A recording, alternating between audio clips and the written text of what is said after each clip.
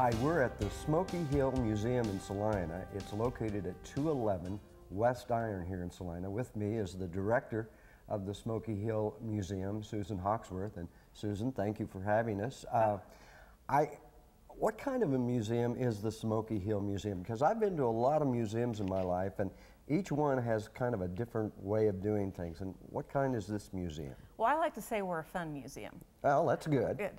Uh, but more seriously, we are a nationally accredited history museum that tells the story of the Smoky Hill region.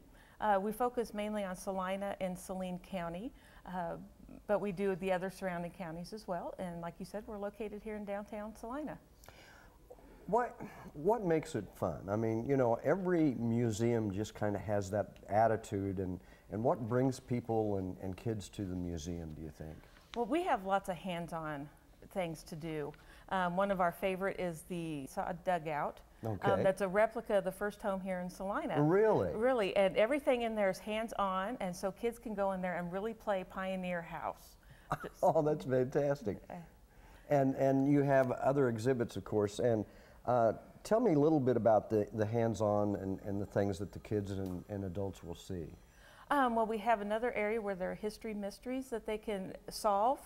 Um, and then we have, all throughout, we have little hands on things sprinkled uh, throughout. Uh, one is a buffalo, we call it our buffalo box, and it has parts of a buffalo, real parts from Uh-huh. Yeah, a buffalo, yeah. like a horn. Like the horn right here, you see, it, you know, the kids can come in and touch it and feel it.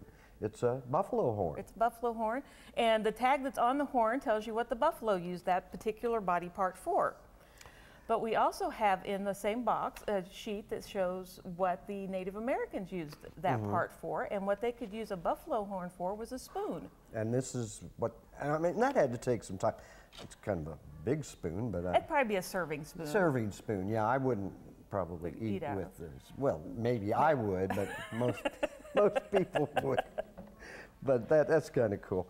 Um, so, in addition to that, you have interactive things. You have um, uh, a journey through Kansas, and actually, we're setting in the room uh, that kids. As a matter of fact, one of the children was just in here explaining a what kind of a snake I was think it? it was a hog nose. Hog-nosed snake, and he was telling me about putting it in one hole and it comes out the other. This room is really sort of unique, and I, I can see by looking at it that it's uh, uh, evolved around children. So tell me a little bit about this. Well, our t- special exhibit, and we have two special exhibits a year, but our special exhibit uh, for this summer is called K is for Kansas.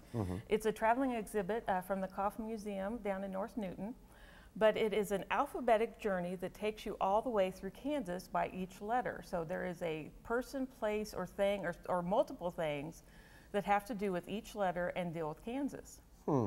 I saw Amelia Earhart over there, and Yeah. uh, so and she's is she from Kansas? She is from Kansas. Is she really? I Yeah, she's know. actually on the E block for Uh-huh. Earhart. Um, another fun one is a J for Jackrabbit. Yeah. You can learn different facts about the jackrabbit. You can even see if you can jump as far as a jackra- jackrabbit in the exhibit. Oh, that's fantastic. Um, what else can people learn about the museum? Uh, tell me a little bit about the artifacts, for example. Oh, we have some great artifacts. My favorite, though, is the dog powered butter churn. You're kidding me. No. Had to be a big dog. Well, kind of like a pit bull size. Really? And not, that wouldn't have to be real big. Um, a terrier. I Okay, mean, kind of really? a, a larger terrier. Oh my Because we actually have a picture showing a dog on a dog-powered butter churn, along with the actual churn. Um, but the dog would be strapped up on a, a treadmill and Uh-huh. run the treadmill, and that would power uh, the dasher that goes in the Right. churn and churns the butter. Oh my gosh. So it saved those kids from having to do all the all the work. Yes, the things you can learn if you come to the Smoky Hill Museum, folks. And uh, what else? There's a, a long plank. Um, tell me about that plank. It, it, it definitely looks like an old long plank. I mean, it has deep grooves in it. It's very dark colored, but it was used in the Schippel ferry. Uh, Gotthard and John Schippel were brothers, and they had a ferry in 1858, and for like the next nine years.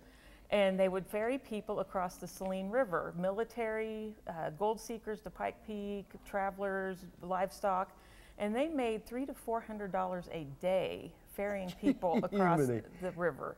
That is a good business. That's a very good business, even for today. well, it looks like it'd be a lot of fun. Um, So tell me now, once again, where, where are you located? We are at uh, downtown Salina at 211 West Iron. Um, and also, you have a gift shop. Let's just briefly talk about Oh, that. Oh, we have a wonderful museum store. It has um, homemade, or not homemade, Kansas-made art. Uh, we have wheat weaving, uh, pottery, um, paintings, photographs, um, but we also have Kansas-made gifts um, and foods. So it's just a great place to come get that Kansas, unique Kansas gift item. I've been through that. I give it a 4A rating because it's a beautiful shop and you can always take something home from Kansas from here at the Smoky Hill Museum. Uh, what about admission price? That's the best part, we're free. Woo. So anyone can come and enjoy our museum. Sounds like a plan. And tell them one more time where we're located. We're at 211 West Iron. Um, our hours are Tuesday through Friday, 12 to 6. Had to think for a second. 12 That's to 6. okay. Saturday 10 to 5 and Sunday 1 to 5. Well, thank you very much. We've been with Susan Hawksworth, the director of the Smoky Hill Museum here in Salina. Come and visit.